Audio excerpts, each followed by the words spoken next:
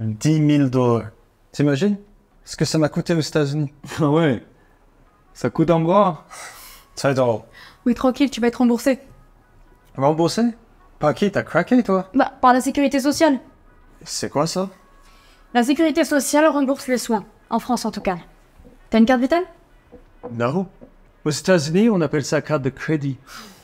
Mais attends, en France, j'ai entendu dire que vous alliez devoir partir en retraite plus tard. Ouais, 64 ans. Bah, en vrai, ça me gêne pas de travailler jusqu'à 64 ans pour avoir pareil. T'as qu'à être français? Peut-être un moyen pour que je devienne français. On verra, on verra.